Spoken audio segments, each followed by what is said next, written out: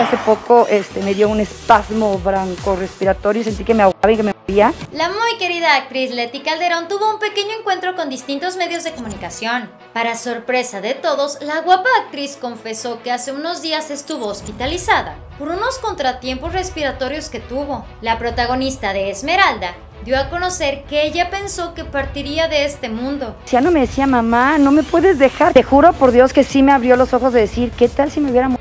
Leti Calderón le platicó a diferentes medios de comunicación que ella tuvo un broncoespasmo, un estrechamiento involuntario de los bronquios, que son los dos tubos que permiten que el aire entre desde la tráquea a los pulmones. Yo ya me imaginaba que mis hijos me encontraban en el baño porque corría al baño a echarme agua. Ya platicando más tranquila porque afortunadamente la situación no pasó a mayores, Leti contó que uno de sus hijos, fruto del matrimonio que tuvo con el abogado Juan Collado, le decía que no podía partir de este mundo ya que lo dejaría completamente solo. El día de mañana que yo me tenga que ir, esté preparado para vivir solo, él y el otro. La también actriz de teatro manifestó que de verdad ella sintió que se iba de este mundo. Ella no pudo respirar por un par de minutos o segundos. Ella no sabe cuánto tiempo fue exactamente, pero de verdad aseguró que se le hizo eterno. Me da miedo que les vayan a preguntar, de verdad, de verdad les agradezco muchísimo que no les pregunten. A partir de esa situación, la guapa actriz tomó la decisión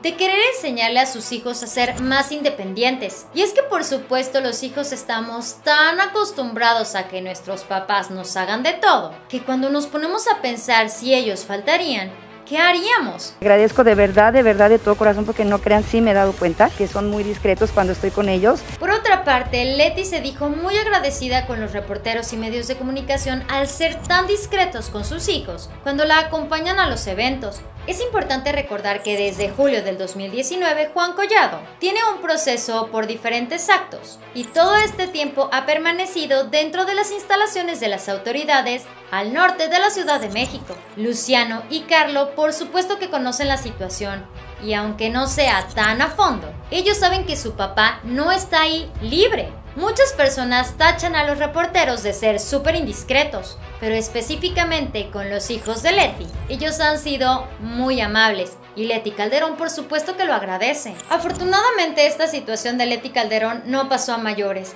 pero realmente nos ponemos a pensar que la vida se nos va en un parpadeo. Por eso lo más importante es aprovechar cada segundo de nuestra vida, aprender a hacer nuevas cosas y sobre todo agradecerle a las personas que están cerca de nosotros, porque nunca sabemos cuándo dejarán de estar ahí. Esto fue el Muro de la Fama. Dale like a este video, suscríbete y síguenos en Facebook. Pero antes de que te vayas, ¿qué te parece si checas este siguiente video? Estoy segura que te va a encantar. Espero que tengas un excelente día. Nos vemos muy pronto. Bye.